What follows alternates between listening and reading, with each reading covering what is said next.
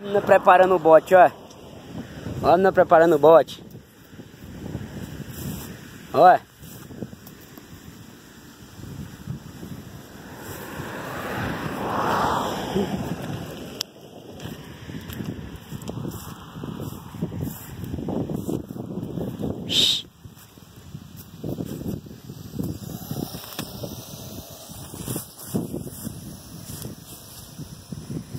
Ficou brava.